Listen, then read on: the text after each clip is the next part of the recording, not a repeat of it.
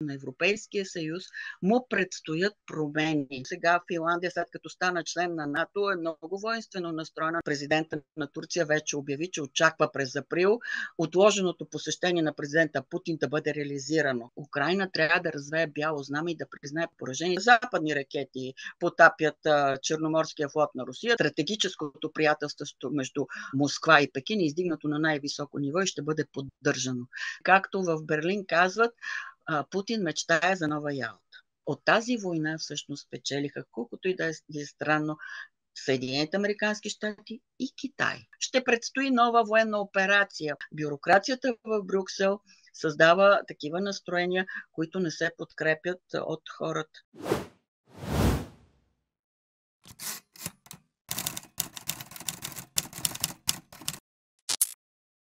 Здравейте, зрители на канал Рационална съпротива. Днес ще говорим с Зукница Илиева за това какво се случва в Европа, загива ли Европа, разграбват ли Европа, има ли някакъв шанс някакви консервативни сили може би да се консолидират на Стария континент и да направят някакво обръщане на тези тенденции.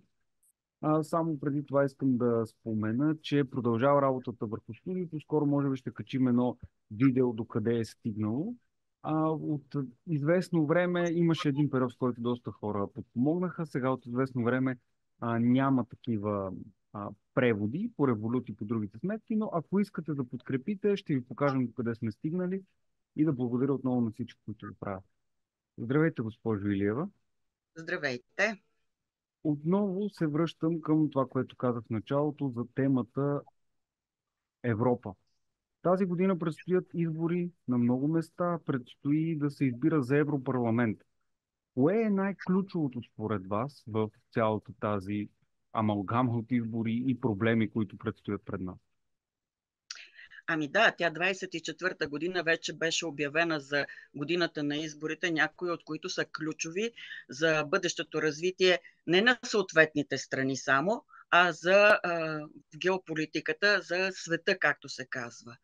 А, освен, че има европейски избори, знаете, а, които предстоят и които наистина са важни за Брюксел.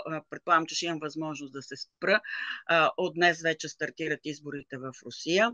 А, а, целият свят очаква на 5 ноември изборите в Съединените Американски щати, които избори м- наистина са ключови за развитието на света, тъй като а, известно е, че Европейския съюз е в пряка връзка с, с събитията, случващото се във Вашингтон и съответно съгласуване на действията в областта на геополитиката, геополитиката най-малко. А в същото време а, има избори, които протекоха в Португалия само преди няколко дни. А, на 12 май има извънредни избори, внезапно обявени в Каталуния. Много сложна обстановка в момента в Испания. Предполагам, че ще кажа две-три думи по този въпрос. А пък Медведев от своя страна направи изявление, че Европа е мъртва. Тоест, войната в Украина, която продължава, която никой не може да каже до кога ще спре, оказва своето влияние върху всички тези събития и избори. Вижте какво става в Германия, където Шолц беше принуден до последно да, да отстоява тезата, докато съм канцлер, няма да изнасям за Украина далекобойни ракети, първо, и то Таунус, което, са, което също е ключов сигнал за развитие не само на войната, а отношенията, които ако искате с Русия, Европа-Русия. От друга страна, напрягането на обстановката на Балканите, които са част от Европейския съюз и то много съществена. Знаете, че те бяха, предполагам, че знаете, една а, голяма част от доклада на американското разузнаване, което излезе само преди една седмица. А, местните избори в Турция. Просто ги изреждам така а, всичките едно. Предстоят избори в Австрия, есента, а знаете какви са отношенията ни във връзка с Шенген, с тази а, страна, която има свои политики, свои виждания и ги отстоява, а е член на Европейския съюз, не на НАТО, разбира се. Така че а, много сложна обстановка. Ето, аз ще ви дам още един пример за сложна обстановка. Европейския съюз приема резолюция, заставайки на страната на Армения в този конфликт. Знаете, Армения и Азербайджан, когато се опитват там да установят нормални мирни отношения, разбира се, под егидата на Баку, който спечели войната за Нагорни Карабах и има своята, освен военна мощ, подкрепена от Турция и странно и от Израел. Сега в момента Европейския съюз налага санкции на Азербайджан и съответно в резолюцията си подчертава своята подкрепа за Ереван, за Армения, което предизвика гневна реакция в Азербайджан. Споменавам а, този конфликт на дипломатическо ниво в момента, не за друго, той е пряко свързан с дейността на Европейския съюз, а в Брюксел а, освен тази, този гняв от страна на Баку, който казва, че е недълновидно решение, което ще има своите последици, а, след като Азербайджан всичкото отгоре е един голям износител, знаете, на нефт, а, и той стига и до Европа, естествено, включително и през, не само Турция, и през България. А, в същото време, а, виждате напрегнатата обстановка в Брюксел освен войната в ам, Украина, където се обещават нови помощи, финансови, тъй като там е много сложна обстановката с изплащането за платите и пенсиите. И ако няма такива помощи, при положение, че от Вашингтон, знаете, републиканците са спряли там финансовата подкрепа в Камерата на представителите, ги блокират. Първо бяха за 60 милиарда, след това се говореше за доста по-голяма помощ. Европейския съюз е принуден чрез Урсула фон дер Лайн да казва, че ще използва замразените авуари на Русия, за да подпомогне Украина, което пък създава нови разделителни линии между самите европейски страни. Интересно, че Малта, Люксембург и Унгария категорично възразяват срещу такава позиция, изказана от Урсула фон дер Лайн, а пък тя в този момент е потвърдила, че ще се кандидира отново за председател на Европейската комисия в предстоящите европейски избори. И тук е една изненада. Френски евро, евродепутат, който е комисар на всичкото отгоре, излезе с изявление, че Урсула фон дер Лайн доли в собствената и партия в Европейския съюз, Народната партия, нали, без така. А, Няма не, безусловна подкрепа, да. Точно така. И тук пък вече Макрон гневен по този повод, с много така остри реплики към а, френския евродепутат и комисар. Това пък предизвика съответно реакция в Москва по отношение позициите пък на Макрон, който като европейски лидер, защото заедно с Германия а, Франция е локомотива, знаете, на Европейския съюз. И даже в този, това е интервю от 3 часово, последното, което направи Путин в навечерието на президентските избори в Русия, той отговори на Макрон, че е гневен заради събитията в Африка, когато бяха изгонени там, знаете, френските войски от бившите им а, колонии в а, този континент. А, и изпращането на френски войски, пък и се търсят и други такива държави. Полша е кандидат, например, а, да е за изпращане на територията на Украина да воюват срещу Русия.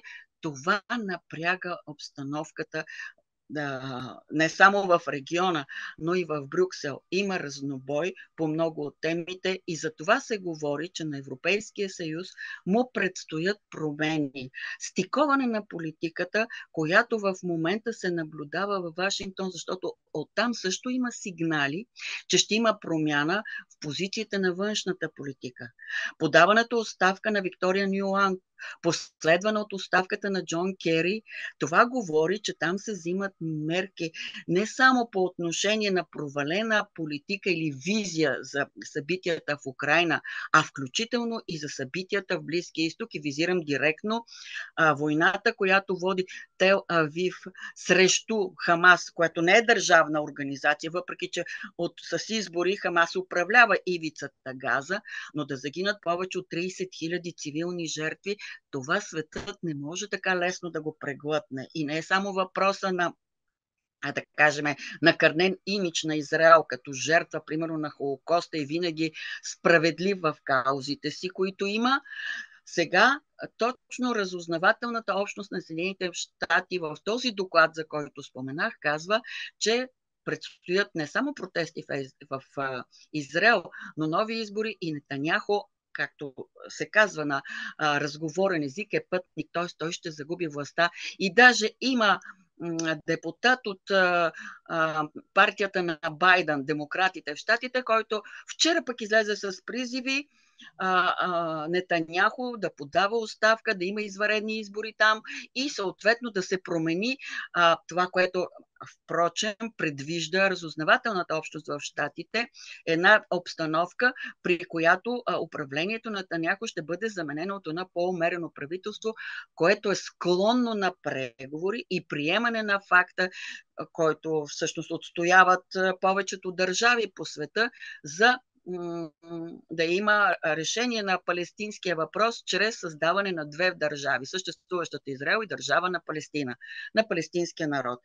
Това просто така нахвърляни тези събития, говорят, че 24-та година ще бъде а, много тревожна, а, много непредвидима, а за в Европейския съюз и в Брюксел се очакват а, така сериозни анализатори очакват а, промени за присъствие вече на различни политически сили, така наречените националистически, консервативни, които ще имат повече гласове и ще намалят влиянието на двете основни, знаете, политически сили в Брюксел, които решаваха а, проблемите или пък съответно съгласуваха помежду си, знаете, и даже постовете се съгласуваха. Ако за едните е председател на Европейския парламент, за другия е председател на Европейската комисия, днес са се събрали лидерите на Франция, Германия и Полша, които да дебатират позициите на Европейския съюз по отношение на Украина. Но това са само три страни не е целият Европейски съюз. След това ще ги запознаят с решенията, предполагам. Но това значи, че протичат събития, просто те препускат, не само протичат. Влиза и проблем с Молдова и Преднестровието, за който също се говори.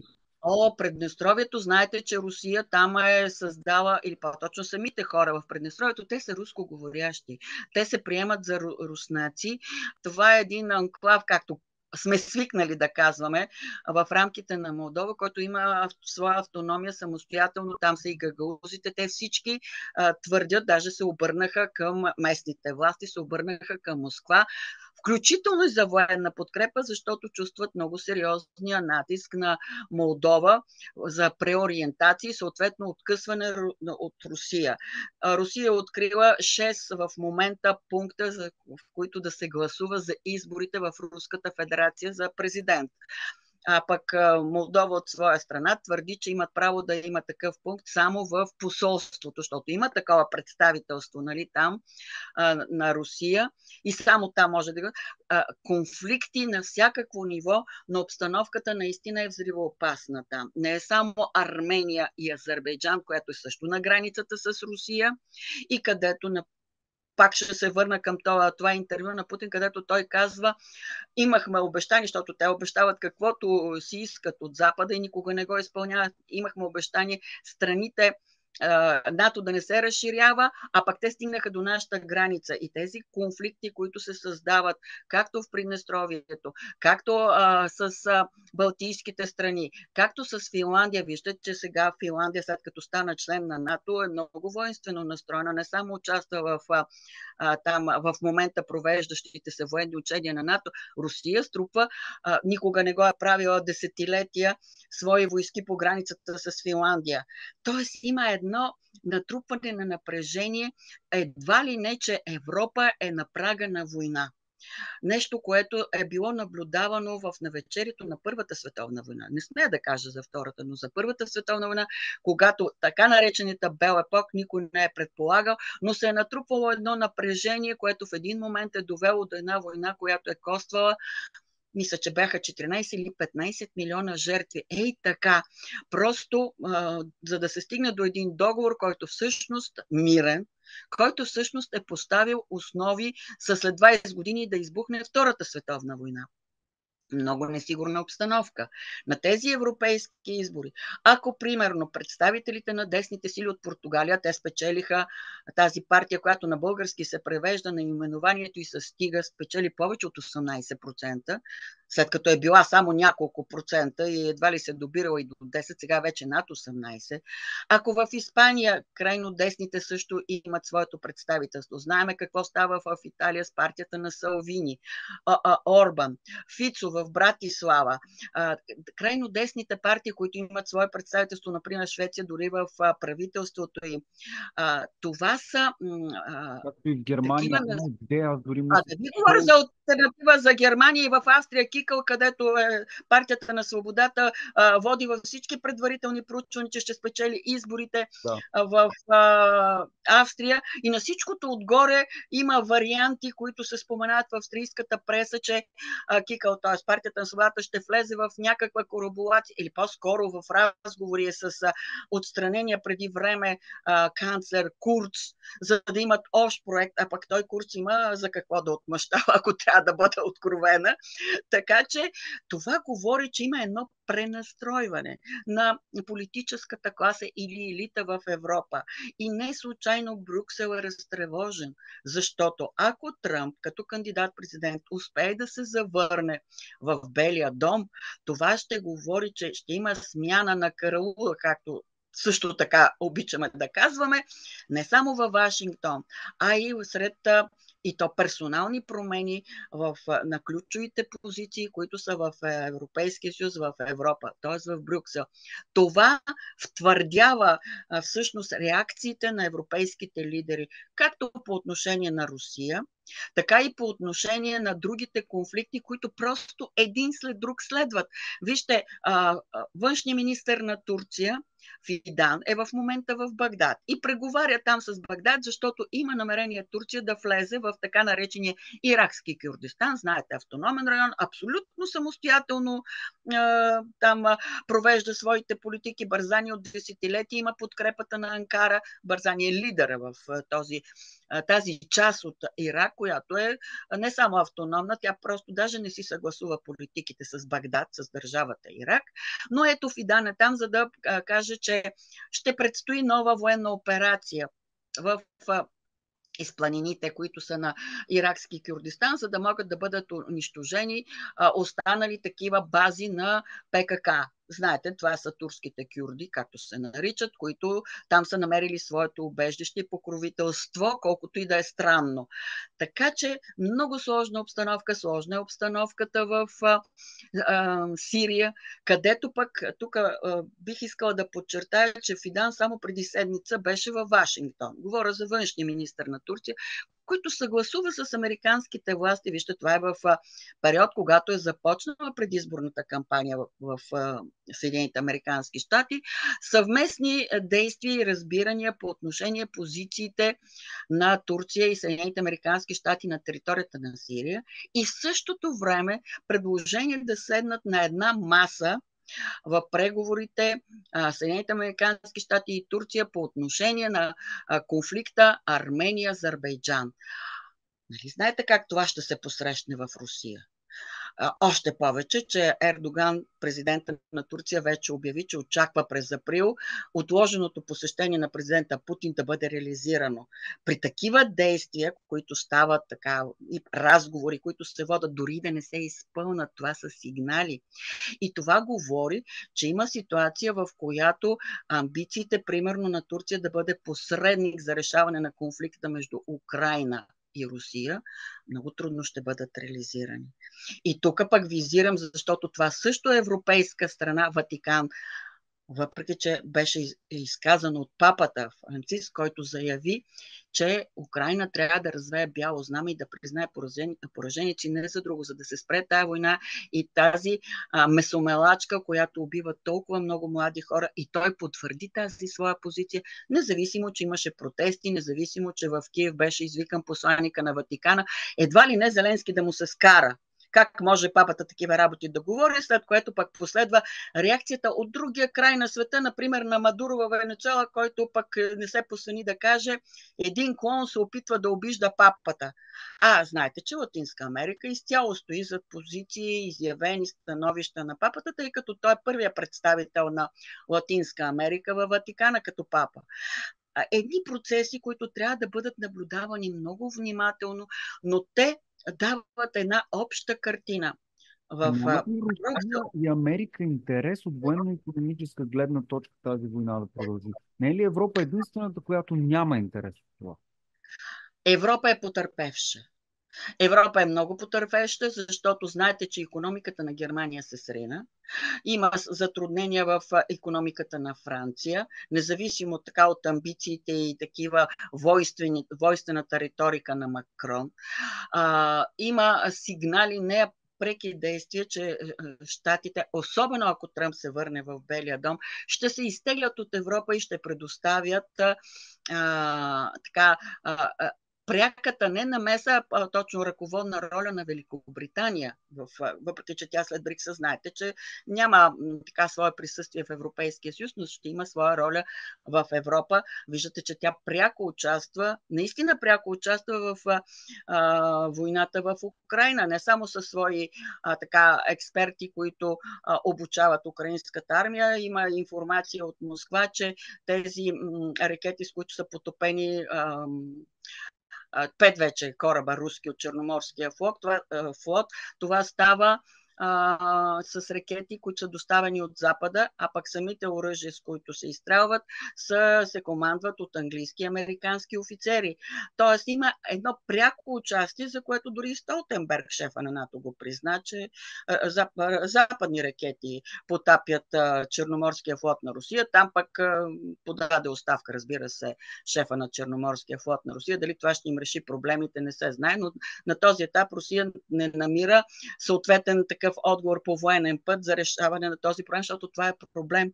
А Черно море и Крим са стара фикс идея на Великобритания, още когато се изживяваше като световна империя. И тук вече, вижте как стои въпроса с България, с Черно море, тъй като ние сме черноморска държава. И тук вече не се знае България как ще бъде намесена в тези битки, ако се стигне до горещ конфликт.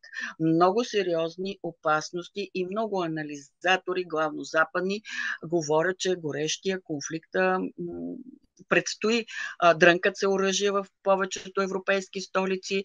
Вижте, Полша има 3,8% е заделила от брутния си вътрешен продукт за превъоръжаване на армията си и твърди, че 300 хиляди бойци на НАТО са строени и готови за а, влизане през Украина за борба, за битка с Русия. Не, случа... не казвам, че това е подготовка за война, но това са сигнали, с които се напряга атмосферата. създава се една тревога. опит да се упражни влияние върху населението, гражданите на Русия, и то особено в, нали, по време на избори, суматохи. Не само там смъртта нали, на Навални, за която Киев побърза да признае, че е естествена смърт. И в същото време продължават нали, спекулациите, а, че е бил убит едва ли не лично от Путин, а, но това напряга атмосферата. Това има своето влияние върху а, една част от руското общество и създава а, така една а, не казвам несигурна ситуация, ама една ситуация, която никак не е приятна за Кремъл най-малкото, да не говоря в личен план за Путин.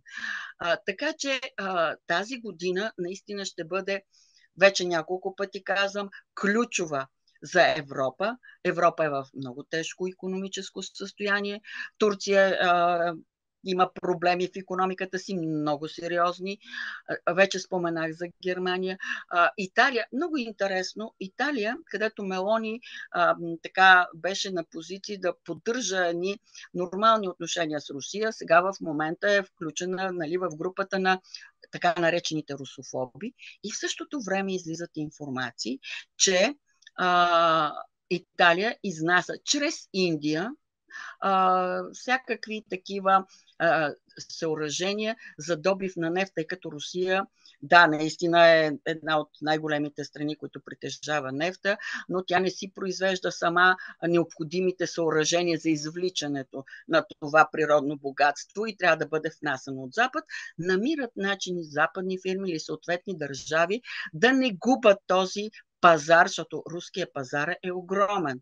В същото време, например, излизат информации, че английските автомобили, особено обичани от олигарсите и заможните хора в Русия, тези прословути английски автомобили, чрез Индия продължават да си се внасят в Русия и в Москва си има шоурумове, такива, които а, представят и сега по време на войната при тези санкции европейски предлагат съответни английски автомобили. В същото време пък Китай се възползва от тази възможност да изнася своята автомобилна продукция и 55% вече, по последни данни от руския пазар на автомобили, се заема от Китай. Тоест, Русия, пренасочвайки своя пазар в нос-износ на изток, тя всъщност нанася а, щета на, на, на Европа. Отделя се от Европа. А, а пък Европа в момента и пред избори, пред възможността там да влязат и други политически сили, които ще имат различни. Даже ако искате, вземете една альтернатива за Германия или новата левица в Германия, която беше създадена. От Сара Вагенсне. Да, а, Това са а, политически сили, които в, своята, така, в своите програми имат а, заложени подобряване, нормализиране на отношенията с Русия, водене на преговори, т.е. много по-различни от политиката, която води Брюксел до момента. И за това е изнервана обстановката. И за това Урсула фон в момента а, търси начини а, и така тона и се изостря. Вижте решението на Брюксел да приемат така изненадващо да стартират процес за присъединяване на Босния и Херцеговина към Европейския съюз само защото във Вашингтон, Босния и Херцеговина в този прословут доклад на разузнаването беше включено като държава, в която предстоят етнически конфликти едва ли не. А пък това е държава, която наистина функционира на магия, много пъти съм го казвала, където а, много трудно съжителстват гражданите на Република Сръбска, които естествено Додик, лидера на Република Сръбска, се стреми да привлече към Белград.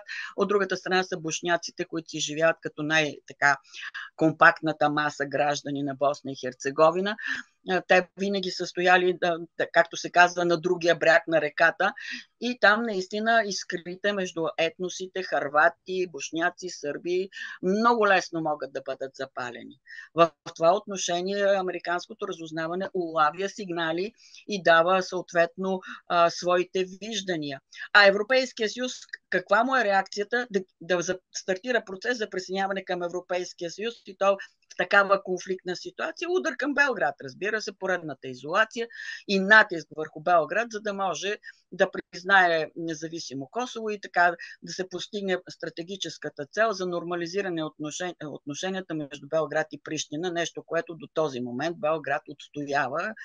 Даже в момента, знаете ли, из Белград се носят едни песни в подкрепа на Владимир Владимирович Путин, които създават съвсем различна атмосфера от това, което Европейския съюз иска да наложи като така, нали, Белград, като кандидат член за Европейския съюз, със своята европейска визия. Не, че Вучич го е отказал, напротив, той казва, че стратегическата цел на, нали, на Сърбия е членство в Европейския съюз, но народа мисли по различен начин.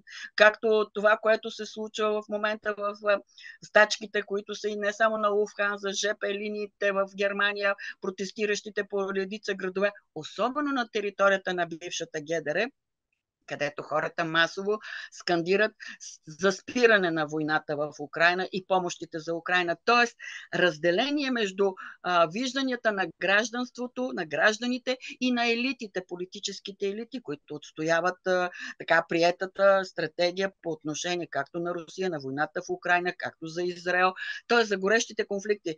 Вижте какво става и с хутите в а, които една организация, която да, разбира се, те държат една част от територията на Йемен. И въпреки всичко се оказаха толкова добре въоръжени, че обстрелват кораби на държави като а, Франция, като Съединените Американски щати, на Великобритания използват най-модерни съвременни съоръжения и прерязаха част от кабела, който свърза Азия с Европа този подземния, който осигурява логистичните връзки дори в интернет пространството. Ама това са много сериозни а, събития, на които трябва да се обръща внимание, защото се воюва и то горещо. Даже сведенията за нашия кораб, който знаете, там едни сомалийски пирати го бяха задържали, Руен, в момента е използван от тези там пирати за нанасене на удари върху тези кораби, които са западните, които са изпратени там за умиротворяване на обстановката едва ли не. Еми, това са ситуации, които говорят, че в различните региони има такива конфликти, които всеки един момент а, някой може да използва като такива искри за избухване наистина на горещ конфликт. И не случайно се казва, че Близкия изток това е опасността, както и за Балканите. Да не се разпрострае този конфликт, дали той ще бъде на религиозна или етническа основа, а, да не се разпростране извън региона и да създаде повод за един глобален конфликт. Нещо, което а, мисля, че и във Вашингтон, и в Москва полагат усилия да избегнат, защото им е пределно ясно, че а, такъв конфликт глобален а, просто е много близко до избухване на ядрена война, която ще унищожи човечеството. Така че а, не са само слухове, че между Вашингтон и Москва има контакти, не се отричат и от двете страни, просто се премълчават или така Тихо малком се споменава, че контактите поне на ниво а, специални служби се поддържат, за да може да се стопира един такъв процес, който да не доведе до глобален горещ конфликт. И никога не забравяйте, че когато се говори, а това вече се открито говори във Вашингтон, където пак ще го спомена този доклад, казват а, крехкото състояние в геополитиката, което а, води до мисля, че почти го цитирам, а, намаляване ролята, първостепенната роля на Съединените Американски щати в международен план. Т.е. Хегемона се опасява, че ще му бъде отнето първото място, наистина на а, номер едно в света. И тук вече, примерно това, което в Пекин казаха на отминалия вече нали, така, общо събрание на техните народни представители, в което имаше и реч на Си Цзинпин и на Вани, който заяви в прав текст, че а, проблемите в света трябва да бъдат решавани чрез преговори, диалог и без намеса във вътрешни дела. А, тук има пълно покритие на стратегията между Москва и Пекин. И не случайно в Пекин казаха, че а, а, стратегическото приятелство между а, Москва и Пекин е издигнато на най-високо ниво и ще бъде поддържано. Така че наистина ще му е много трудно на Вашингтон в цялата тази ситуация, в предизборна кампания, да се изправи в един, срещу един съюз между Русия, Пекин, а и бих прибавила Иран, което значи, че ще има наистина някакви промени, коригиране на вектора, особено в областта на външната политика, което да доведе до преди години се казваше мирно съвместно съществуване или поне спиране на горещите конфликти в определени а, райони, като Украина или като в Близкия изток. Поне моите надежди са такива, въпреки че в Москва казват, че те никога няма да приемат спиране на, на войната при неравноправни условия и по а, исканията на Киев или както се изразява Путин, няма да се преговаря с Киев, когато са свършили там боеприпасите или са а, напушени с психодробни вещества. Те а, настояват преговорите да се водят с Съединените Американски щати или както в Берлин казват, а, Путин мечтае за нова Ялта. Как се получи така, че Европа не осъзна или не искаше да види, че тези санкции срещу Русия ще бъдат един бумеранг срещу самата нея? Аз мисля, че това се осъзнава от а, така мъдрите или сериозните, не само анализатори и коментатори, а специалисти, особено тези, които работят в а, съответните служби, специални служби.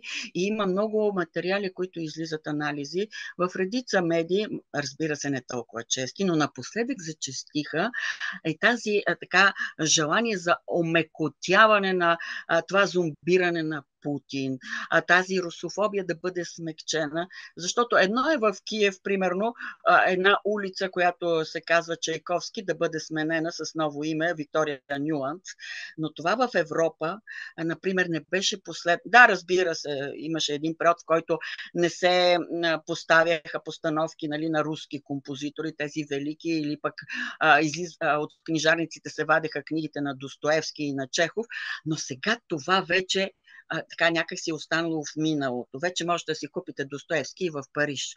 Париж не си смени а, така метростанцията Сталинград, например. Паметниците стоят на съветската армия, защото тя не е руска, тя е била съветска, така те си останаха и на всичкото отгоре добре изглеждани и поддържани. Всичко това говори, че има известно така отрезвяване, защото економически удар върху Европа беше наистина съществен, да не кажа, да не използвам израза чудовищен. От тази война всъщност печелиха, колкото и да е, е странно, Съединените Американски щати и Китай. Защото а, Русия изнася за Индия и за Китай своите продукти, които преди това даваше на ниски цени на Европа, при нефт и газ, и за което имаше така нареченото немско чудо. Локомотива економическия на Германия беше локомотив на цяла Европа. Сега това нещо е насочено към Китай и към Индия. И не случайно в Нью Йорк Таймс пък само преди дни излезе една статия и казва, ами тя Русия вече е загърбила Европа сякаш Съединените Американски щати не съдействат за това състояние на Европа. И изграждайки тази канал, който е от Мурманс пред Санкт Петербург, Москва, а, за да се стигне до Индия и Иран. И по този начин а, от а, тези северните морски, северния морски път вече стига до държавите от Персийския залив. Пряка връзка с, знаете, там Саудитска Арабия, Обединените арабски емирства, новите членки на БРИКС. Тоест, изолира се всъщност Европа, а не като пазар, като економика, а не това, което искаха да постигнат пълна изолация на Русия. В този доклад, който вече да не знам си кой път го цитирах на разузнавателните служби на Съединените Американски щати, се казва да, Русия може и да загуби тази война, но тя доказа, че е стабилна економически в приводенето на тази война. Доказа, че е един противник, с който трябва да се съобразяваме. Разбирате, аз малко перефразирам изреченията, но това е смисъла. И но това е това, което казват от Запада. Всъщност е нещо повече. Руската економика се покачва, безработицата пада и реалната економика расте. Тоест, заради военната индустрия. И тук за това когато казахте, че Китай и Русия имат интерес взаимно от това да, се, да има мир, дали това наистина е така от руска гледна точка при положение, че Русия расте по време на този военен конфликт в Украина? Ми 3% и половина е ръста на брутния вътрешен продукт. А, сега, тук Което е най-много от всички други страни в Европа. На Г7 не само на страните в Европа, а в Г7, което, разбира се, да, има своята роля това, че те поставиха економиката си на военни релси. Това е факт. Но има и нещо друго, което в Русия до момента не се беше случвало. Те просто почват да произвеждат голяма част от стоките, разбира се, не всички, които внасяха те и технологии и стоки от Запада, вече си ги произвеждат. И най-големия а, така а, в това отношение успех е в областта на земеделието, в селското стопанство. Русия е най-големия производител на зърно в света, на пшеница. Нещо, което тя не го е постигала, а го постигна по време на война. И за това тя изнася и в същото време даже и безплатно предоставя на гладуващи страни в Африка и не случайно така наречения глобален юг или не западните страни запазиха, което за Русия е важно, неутралитет.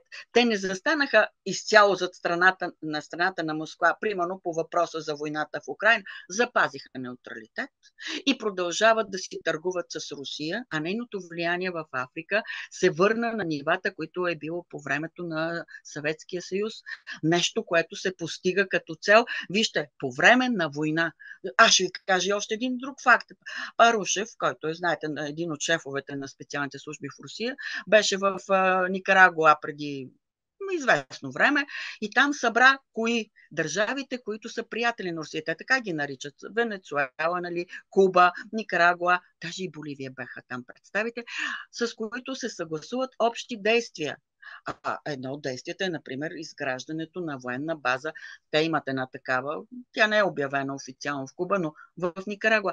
Тоест, Русия по време на война се доближава до Съединените Американски щати по начин, който трудно може да се предвиди нали, примерно, в един период, в който беше наречен студена война или, ако искате, преди това мирното съвместно съществуване, колко е било мирно, това е отделен въпрос, но така или иначе, желание за контакти, желание за търговия Европа по него имаше. Сега в момента с всичките тези санкции, ограничения, с всичката тази русофобия, те всъщност прекъснаха достъпа до руския пазар, а той е огромен с което загуби, загуби. Русия така или иначе намери своя път не само към Китай, Индия и Иран, намери път към тези страните от не Запада. И това, това би трябвало да се отчита в Брюксел.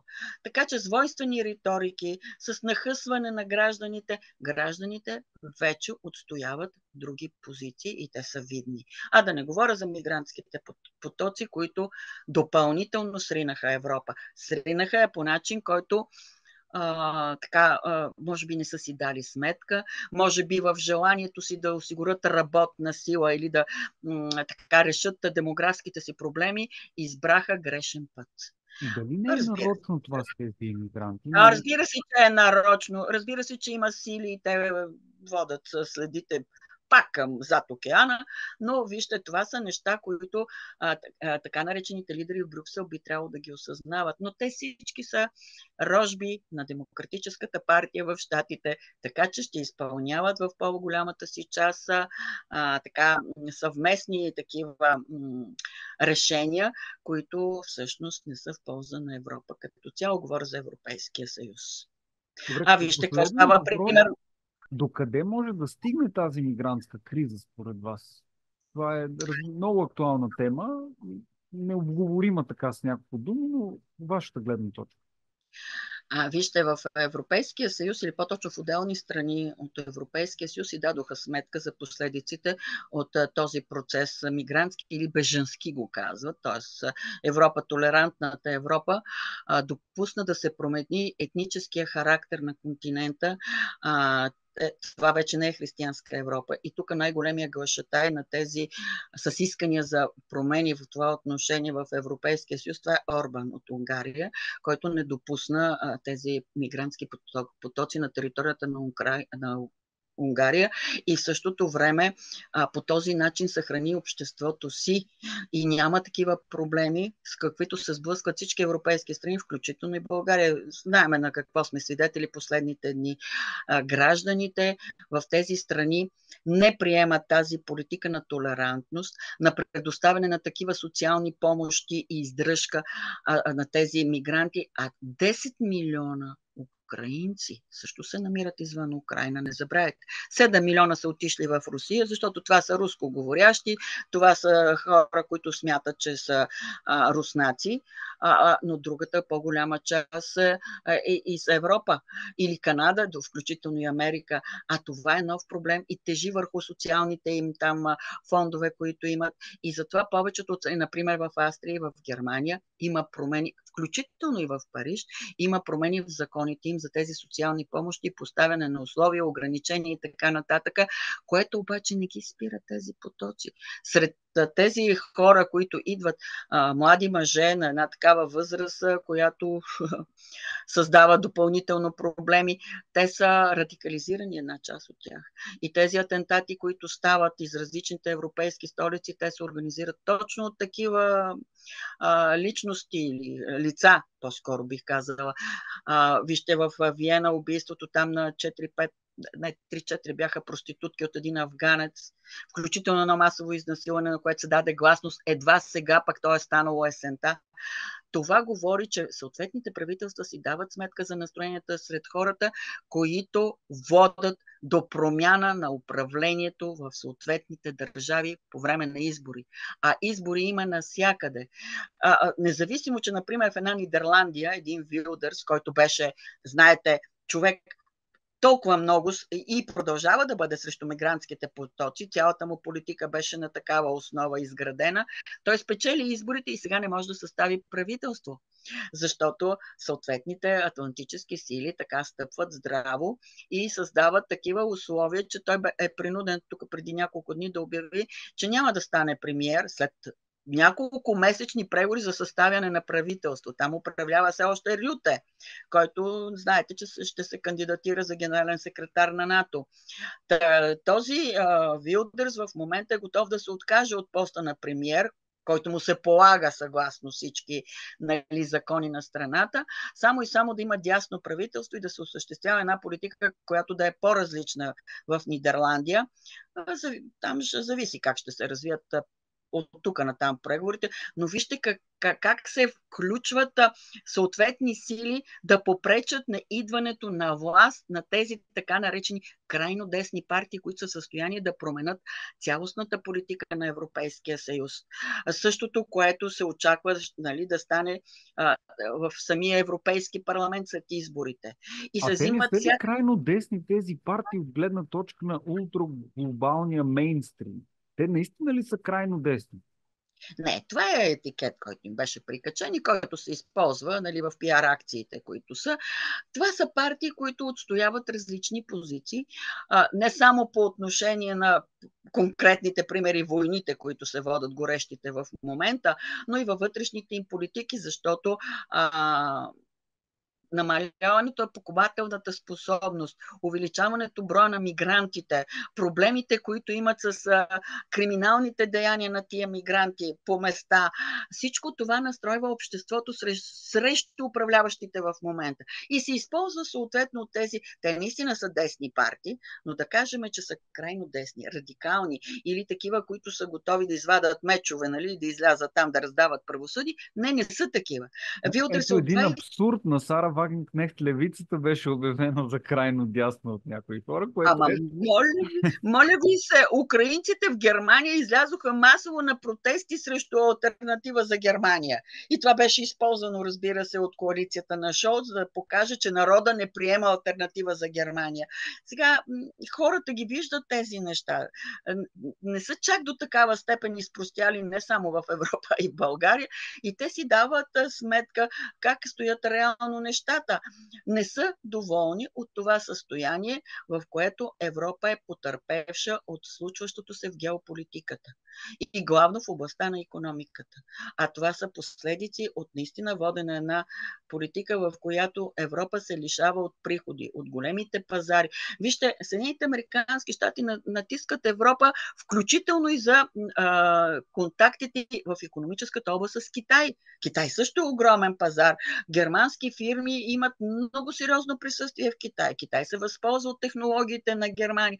А сега в момента има затруднения в тези контакти, които са. Санкции се налагат на китайски фирми, Китай естествено реагира, но някакси при милиард и половина население, и съответните постижения, които да, има проблеми и, Китай в момента в областта на економиката, но така или иначе това е огромна страна, която се справя. И срещу нея един Европейски съюз, който в момента е потърпевш нали, от всичките останали проблеми, които има, а, наистина а, трябва да намерят сили в Брюксел да променят а, вектора на своята политика във външен план, пък съответно и във вътрешен план, защото бюрокрацията в Брюксел създава такива настроения, които не се подкрепят от хората. И те ще изразят своите, своето отношение по време на изборите. Европейските избори у нас а, обикновено се казва, че така малко хора гласуват на тях, но аз мисля, че тази година ще бъде по-различно. Просто много е информацията в интернет, а хората вече получават тази информация от интернет, а не от така наречените правителствени медии. Да, както, например, през този канал или други канали, там където Разбира се. и така. А, Разбира се. Много ви благодаря за този интересен и информативен разговор. А, ще говорим отново, надявам се. Вероятно, даже следващ път в студио. Така че благодаря ви за всичко, което казахте и за това, че подавате на хората тези информации, за да им помогнете да се подредят всички парчета от този геополитически пъзъл? Да помислят. Да. Благодаря ви и до нови срещи. До нови